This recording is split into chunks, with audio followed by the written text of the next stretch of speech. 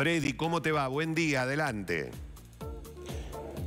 Hola Lagarto, ¿cómo andás? Buen día. Buen sí, día. estamos acá en Cabalena, el 6500, barrio Autódromo, eh, con la, la situación que recién ahora, con las primeras luces del día, vuelven a trabajar porque las condiciones del pozo que mostrábamos ayer, Lagarto, ya hemos dicho y lo hemos demostrado y lo hemos mostrado Sí, eh, sí. acá en el show, eh, son muy dificultosas. Y después de la trama, Lagarto, eh, básicamente a- fuimos los primeros ayer en tener cómo se fue desentrañando todo, incluso el dato de dónde estaban los, los hijos eh, de, de una de estas mujeres, de estas hermanas, eh, que han confesado el crimen, horrendo crimen, eh, el fin de semana cuando fueron detenidos en, Claro. en, tras, la- en Tras la Sierra, camino tras la Sierra en Copina. Así que realmente hemos estado ayer a, a la altura de las circunstancias con, con la información de primera mano, con los investigadores, eh, con, comprendiendo este, este, este caso tan, pero tan extraño. Eh, lleno de matices que todavía faltan por develarse y, el, mayor misterio está en lo, en lo profundo de, de un pozo de 60 metros, un viejo pozo de agua, donde a esta hora nos han dejado entrever por el, el ánimo de sobre todo el equipo del DUAR, que son los, los cuerpos especiales que están haciendo el trabajo en el pozo, eh, es que han ah, eh, creen que hoy van a dar con, con, con estas hermanas. Ah. Obviamente estamos hablando de eh, Ahora- eh, con los cuerpos, lagarto. Sí, Fred- porque acá no hay ninguna expectativa de, de encontrar a alguien con vida. Sí. lagarto. No, lo que te quería consultar, a lo- yo no, no, no le encuentro respuesta, a lo mejor por ahí vos, vos sí. Eh, yo he hablado con algunas personas vinculadas a la, a la investigación y todos dicen lo mismo que vos decís. Eh, hoy podría ser, hoy podríamos detectar, hoy podríamos encontrar, pero ¿basado en qué se hace esa afirmación? Basado, eh, Lagarto, en que a- antes de, ba- de bajar al pozo, Sí. lo que van haciendo eh, son en- envían cámaras eh, GoPro, pequeñas cámaras con, con iluminación, ti- un- serían Una como sonda, sondas más o claro. menos, que les permite, claro, se permite como una, una inspección submarina, es como Ah. mandar una sonda para ver qué se, qué se ve. En base a lo que se ve es el accionar. Las complicaciones son muy grandes, Lagarto, porque eh, a los 20 metros un pocero Sí. ya se queda sin, sin aire. Claro. Estamos hablando de tres veces más esa profundidad, con lo Claro. cual eh, tiene que estar todo milimétricamente calculado, asegurar que las paredes del, del pozo eh, estén en condiciones como para soportar roces, Claro. movimientos. Bueno, es, es mucho, eh, la verdad que es un trabajo de altísimo riesgo el que está desarrollando el equipo técnico del DUAR. Eh, bajan con tubos, el tubo también em, eh, contempla un- una, una mayor, o- eh, ocupa más espacio, el pozo más abajo empieza a reducirse. No sé si han tenido oportunidad de ver, Lagarto, o recuerdan cuando cronicamos el rescate de los chicos, eh, los estudiantes, en una, en una caverna en Taiwán, creo que era. En Taiwán, O en sí. sí. Indonesia. Eh, bueno, Eh, en alguno de esos dos. bueno. Pero que sí, sí, sí, fue tremendo. Sí.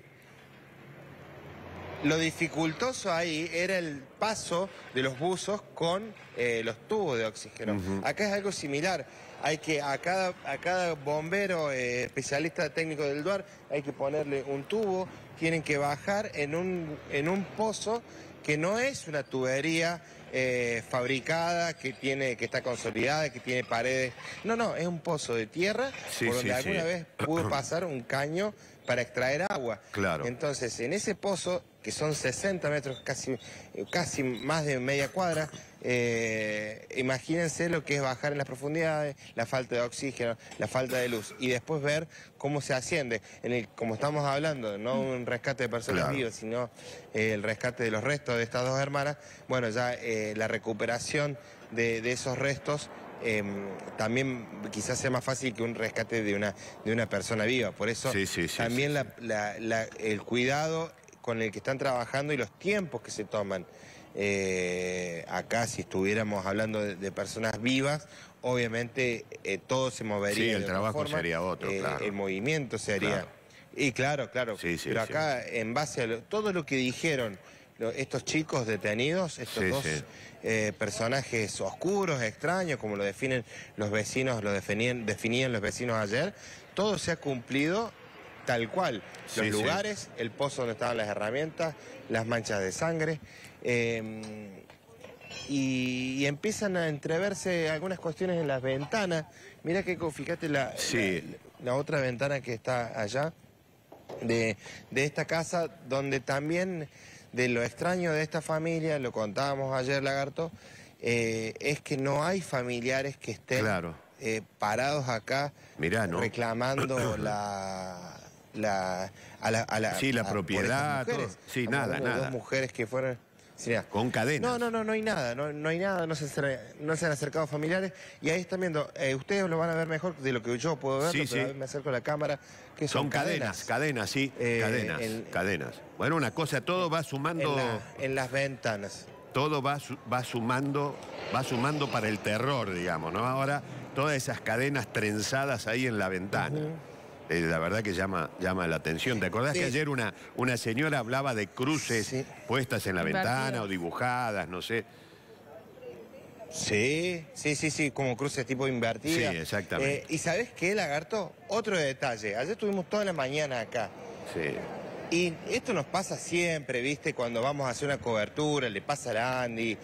Que vos vas a un barrio, te cuentan, alguien sale al aire, cuenta una cosa. Y después viene por ahí otro vecino, se te arrima y te dice, che, dice, nada que ver, la verdad que lo que dijeron, yo estuve viendo, lo estuve viendo el lagarto, ahí lo que, que habló tal, lo que habló Esther, es cualquiera. Acá nadie vino a decir nada. Están todos de acuerdo con que... Era una familia rara. Con los relatos de, las de las vecinas, de las vecinas que hablaron ayer.